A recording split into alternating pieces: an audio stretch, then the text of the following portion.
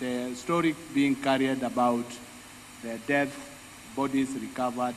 in part of central region, this morning I've directed the DCI team from homicide unit to come, to, to come up with a special team to investigate this matter to the bottom of the matter and will not stop until we get the perpetrators of this offense.